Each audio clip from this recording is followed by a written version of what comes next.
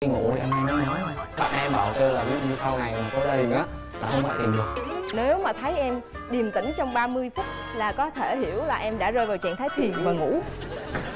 Em à, tên là Long, à, năm nay em 26 tuổi. Em à, là quản lý bán hàng ở bên một công ty thuốc lá Ừ, Quê em ở Thái Bình và hiện tại nhà em bây giờ ở Đồng Nai Và em đang làm ở Long Khánh. Quê Thái Bình Đồng Nai làm Long Khánh. Mời em giới thiệu. Em tên là Bùi Ngọc Trang Đài. À, năm nay em đã được à, 52 tuổi. Ngược Hả? lại chị. Ngược lại anh. À, hiện em đang là giáo viên của trường Trung học thực hành Sài Gòn. Chỗ ở hiện tại là ở đâu? Dạ hiện tại thì em đang ở thành phố Hồ Chí Minh ở quận 11 ạ. Ủa quận 11 xuống Đồng Nai xa không? Gần lắm ạ khi có tình yêu thì đường không có xa đúng không bạn dạ. Mà em cũng à, đang làm ở dưới đó nhưng mà cũng sắp chuyển công tác về Sài Gòn đó à chuyển về Sài Gòn vậy là tốt rồi chuyển ngay quận 11 luôn nha tôi nha bạn đã trải qua mấy mối tình rồi Dạ, em thì cũng đã trải qua một mối tình rồi một mối tình bao nhiêu năm bạn Là 5 năm 5 năm 5 mối năm tình dài đấy Dạ Rồi, bạn gái mình có bao nhiêu mối tình rồi? Dạ có tính tình đơn phương không chị? Em muốn tính sao em tính? Dạ nếu mà tính tình đơn phương luôn là ba mối tình rồi chị. À, hơn bạn nam bên này rất là nhiều chị. Vậy á hả? Dạ. Bây giờ bạn muốn tìm một người bạn trai như thế nào? Dạ, thứ nhất là sẵn sàng chia sẻ với em Tại vì những cái gì mà em suy nghĩ á, nó đều hiện sẵn trên khuôn mặt của em rồi Nên những bạn nam của em, em cũng muốn, mong muốn là nếu mà anh ấy muốn gì Thì anh ấy hãy nói thẳng ra Anh ấy không có mập mờ Vậy thì hai bên san sẻ với nhau thì dễ dàng để mà sống chung hơn rồi Cũng tiết kiệm thời gian để làm được nhiều việc khác Thay vì cứ giận nhau hoài Ừ. À, bạn trai mình cảm giác như thế nào với những chia sẻ của bạn gái vừa rồi? Dạ, đối với những cái chia sẻ của bạn gái thì em thấy cũng à, phù hợp với tính cách của em Tính cách của em mà rất là thẳng thắn và quan tâm chia sẻ với những người thân trong công việc hay là cũng như trong xã hội. Em muốn tìm một người bạn đời như thế nào? Dạ, em muốn tìm một người à, bạn gái là ừm, có duyên là được. Ngoại hình không quan trọng lắm mà ví dụ như cao từ 1m55 trở lên là được rồi. Rồi như vậy là Rồi. được ha. Bạn trai có vẻ là dễ tính á. À, Bạn có thể giới thiệu về bản thân mình một chút. Đặc điểm tính cách của em là có hai đặc điểm nổi bật nhất. Thứ nhất là nhoi Và thứ hai là thích phiêu lưu Nhoi có nghĩa là em không bao giờ ngồi yên lặng Trầm tĩnh được trong vòng 30 phút Lúc nào em cũng phải kiếm việc để làm Còn nếu mà thấy em điềm tĩnh trong 30 phút Là có thể hiểu là em đã rơi vào trạng thái thiền và ngủ Còn thích phiêu lưu là em rất thích đi phượt, đi chơi với mọi người, với bạn bè à, Tuy nhiên đi phượt một mình cũng là một cái thú vui à Bây giờ đi một mình nhiều chưa? Dạ, em từng đi phượt một mình qua Hàn Quốc ạ. Cũng hơi liều một chút nhưng mà cũng có rất là nhiều kỷ niệm thú vị ạ. Bạn trai, mình có thấy bạn gái bên này có vẻ hơi mạnh mẽ đó Bạn có ái ngại gì không? Dạ, không sao đâu ạ. Em cũng thích một người như vậy. Mình có tài ờ, cái biệt tài gì đó không em. Hát hả? Được nào hát bài vui vui rồi. Đọc rap đi. Chỉ là đôi môi, chỉ là vài câu yêu thương thôi mà. Em đã khiến anh yêu em chẳng thể phải phôi anh mong em đừng thay đổi, Vì anh đã quá yêu em mất rồi. Vì yêu em xa em quanh anh chỉ còn là bóng tối. Chờ một ngày mãi chờ Chờ một ngày tương lai chờ. Ngày ta được sánh đôi vai cùng bên nhau mãi mãi. Dẫu anh có làm gì sai, cũng sẽ không một ai có thể chia hai ta chung bước mãi. Trên một con đường dài, con đường dài con đường dài con đường dài lắm con đường dài lắm. Đếm đếm đếm đếm đếm. Một hai ba bốn năm sáu bảy ngày trôi. Biết em giờ có nhớ về anh hay nhớ về ai? Bao ngày thật là dài khi không có em bên cạnh. Anh cảm thấy rất giá lạnh. Mà làm sao em yêu hiếu thấu khi mà đó có duyên mà. Dạ. có duyên dễ thương mà Ồ, có đồng tiền nữa ta, hai mươi nút đồng tiền nữa ra Tôi khoái với người nào có đồng tiền giống tôi răng khởn ta, ghê ghê ghê. Em có tật xấu gì không? tật xấu thì chắc là à thì ờ, khi ngủ thì em hay nói mớ thôi Ê cái này giống em nè anh. Em nói mớ mà bạn em chùm ai cũng biết hết luôn á, biết tiếng luôn anh. Đâu đang nói gì, thí dụ như bên đây ngủ nói gì? Thí dụ, thí dụ em như không biết em không biết. Sao vậy, sao em biết em ngủ em hay nói? Bởi vì là những cái người ở ngủ cùng với em á, Ai ngủ cùng với em? bạn học sinh viên cùng phòng Rồi tụi nó kể sao, nó nói em nói gì? là, ví dụ như là ban ngày mà đi học tối về đi học tiếp. Hay là ví dụ như em đi làm bây giờ em đi gặp khách hàng tối đi gặp khách hàng tiếp. Bạn em bảo kêu là ví dụ như sau này mà có gia đình á là không ngoại tình được. Ban ngày có gặp ai thì tối là khai hết. Ồ, hay hay hay, cái vụ này cũng hay à. Còn em mới làm sao, em, em mới làm sao? Dạ cũng gần gần như bạn ờ, như anh ấy bên đó. Thì ví dụ ban ngày em chuẩn bị thi speaking thì ban đêm em sẽ nói lảm nhảm gì đó bằng tiếng Anh nhưng mà mọi người không ai hiểu hết trơn á. Hoặc là đôi lúc lâu lâu suy nghĩ cái vấn đề gì trong ngày thì ban đêm thì em cũng suy nghĩ lại. Đó cũng nói Ừ. mó luôn. Hai chồng là tối nằm ngủ mạnh ai nấy nói. Người nói người dịch. Anh bên đây á, rất là dễ thương nhẹ nhàng. Có thể chiều chuộng em được. Đúng em không không? thích gì ở người đàn ông? Hút thuốc lá à thật ra thì ba em hút thuốc lá nhưng mà mỗi lần ba em hút thuốc lá thì đi ra ngoài và ba em rất là tôn trọng không khí trong gia đình tôn trọng mẹ và tôn trọng các em. Nên cái việc đó thì cũng có thể chấp nhận được tuy nhiên một ngày hút một điếu thôi không quá nhiều. Đúng rồi hút thuốc nhiều có hại sức khỏe còn không thích gì nữa không? Hết rồi. Hết rồi vậy đơn giản quá. Em có đáp ứng nhu cầu được à, những cái điều mà bạn gái vừa mới đưa ra không dạ được anh ạ nhớ nha bên đây nguy hiểm lắm đó nha hôm nay có đi với ai không Dạ, em có đi với cả ba người bạn Em thấy à, bạn gái bên cạnh này này anh Long à, dễ thương, rất là duyên và rất là dịu dàng. Đó là, là một trong những cái tiêu chuẩn của anh Long. ạ. ồ chị thấy nhoi lắm mà Như thế là tính cách em thấy là năng động và cũng rất là phù hợp với anh Long. Và xin chia sẻ với bạn nữ một chút, anh Long là một người sống rất là chân thành, sâu sắc và rất là cầu tiến. rồi bạn gái có đi với người thân nào không dạ em mời chị đồng nghiệp với em chị liên ạ Em chào anh Quyền Linh, chào các tường. Chị thấy sao? Tình hình hai bên hợp với lý không? Anh dạ nãy giờ nghe thì thấy à, hai bạn có vẻ rất là hợp. Chắc chương trình cũng khó khăn lắm mới tìm được một cặp như thế này. Hai bạn có điểm chung đó là à, cả hai người có vẻ rất là thẳng thắn, à, nhiệt tình.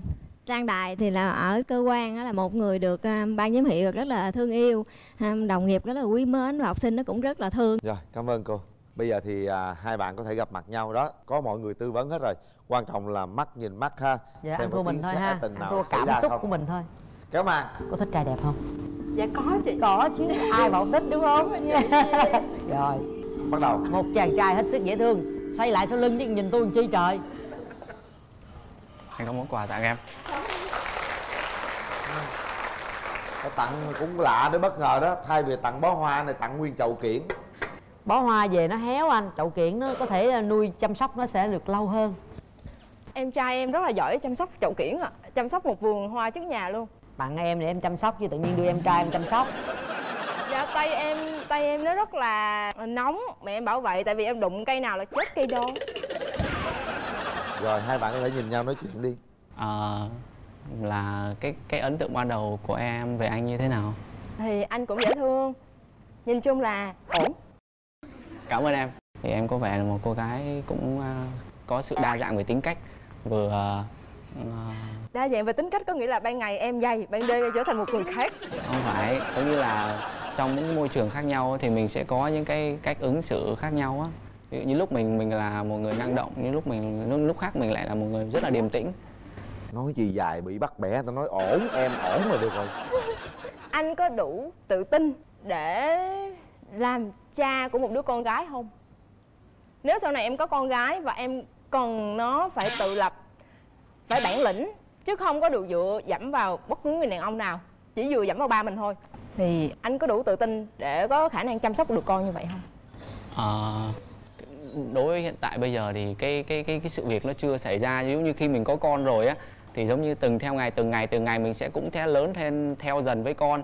Thì à, anh nghĩ là có thể anh cũng rất thích con nít con gái cũng thích nhưng mà con trai thì chắc là cũng sẽ thích hơn. Dạ rồi ờ, anh có hỏi gì nữa không? Ừ, thì cái à, ví dụ như là cái mơ ước của em trong cái cuộc sống thì trong tương lai á là hay là là như thế nào? Dạ mơ ước của em giản đơn lắm anh. Ờ, Một công việc tốt ờ, Một gia đình hạnh phúc Con cái trưởng thành Đạt được nhiều cái ước mong Mà em chưa hoàn thành được cái đó không đơn giản đâu. Cũng phức tạp lắm á. Không thật ra là chỉ đơn giản là con em phải biết năng khiếu một chút xíu Ví dụ là đàn hoặc là hát hay một chút xíu thôi Giống như là ba em vậy đó, ba em hát hay. Còn em là thảm họa âm nhạc. Tại vì trong thế kỷ 21 này nếu mà mình chỉ có kỹ năng cứng không thì không có được Phải có rất là nhiều kỹ năng mềm. Vậy nên con cái nó cũng phải còn học nhiều thứ lắm.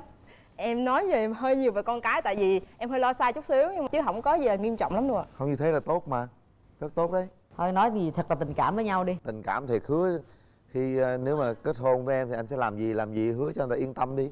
Hứa thật nhiều thất hứa cũng thật nhiều. Thôi mình nói một câu tỏ tình gì đó để à, có thể à, quyết định bấm nút hay không bấm nút. Thôi để em nói cho. Rồi em nói đi. Sư Huynh à Hôm nay tiểu muội lên đây á là dù có thích hay không á đều bấm nút hết á Nên sư Huynh nhớ điều đó nha tôi không biết giờ tôi khen cô này hay tôi chê nữa. Nhiều khi thấy cô cũng được lắm mà sao nhiều khi cô kỳ dữ vậy ta? Ai da nói như vậy là không có được nha.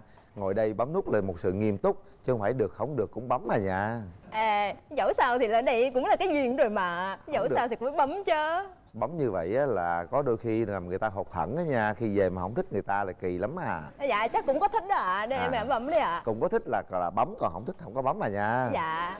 Nhìn say đắm quá ha sao nói câu gì ngọt ngào với cô ấy đi? Dạ anh rất có cảm tình với em. Cảm ơn anh. Còn Ờ, em? Em cũng vậy. Suy nghĩ thật kỹ nha. Giống như những gì, gì nãy giờ anh quyền linh với chị tường nói thật sự cảm nhận thấy trái tim mình rung động. Và đây bấm nút là để hẹn hò với nhau chứ không phải bấm nút để làm bạn. Một hai. Ba. Hết thời gian. Lý do tại sao mà một cô gái dễ thương ờ, hiện đại thế này năng động thế này tại sao bạn lại không bấm? Dạ là thì cái cảm xúc ban đầu đối với em á giống như là nó quan trọng lắm. Khi mà em thích một ai đó thì em cũng là có những cái cảm giác rất là rõ ràng thì em có thể là tiến tới sâu xa hơn được. Còn đối với bạn thì có thể là làm bạn được. Không sao cả. Chúng ta không ờ, tìm đến tình yêu chúng ta sẽ là những người bạn rất thân thiết biết đâu trên con đường đời nó có nhiều cái sự thay đổi thì sao? Bạn ờ, gái cảm nhận thế cảm nào? xúc của em bây giờ như thế nào? À, có hơi hụt hẫng chút xíu nhưng mà không có sao. Tại vì ờ, đối với em mà nói thì cái việc mà bấm nút hay không thì có vẻ anh anh ấy rất là quan trọng. Đúng. Ờ, Đối với em thì cũng quan trọng nhưng mà em còn có một số điều mà ảnh hưởng tới việc em có bấm nút hay không. Bởi vì khi mà lên đây quay phim á, nó cũng sẽ được lên YouTube nữa Mà lên YouTube có nhiều ảnh hưởng lắm. Nên tốt nhất là em nên chọn biện pháp an toàn. Cho dù lên youtube hay là không lên youtube khi chúng ta bấm nút là chúng ta lựa chọn một điều hết sức thiêng liêng chúng ta không thể đùa với chuyện đó được. Nếu chúng ta yêu thương thực tình tôi ờ, hôm nay công nhận à, bạn trai rất là bản lĩnh.